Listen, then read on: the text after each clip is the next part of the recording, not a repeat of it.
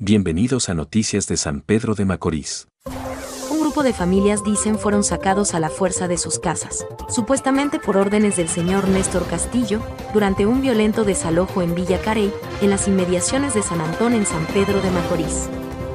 Los afectados dicen el señor Castillo ejecutó el desalojo, valiéndose de la fuerza de policías y civiles fuertemente armados, a pesar de no contar con una orden judicial que avale su acción.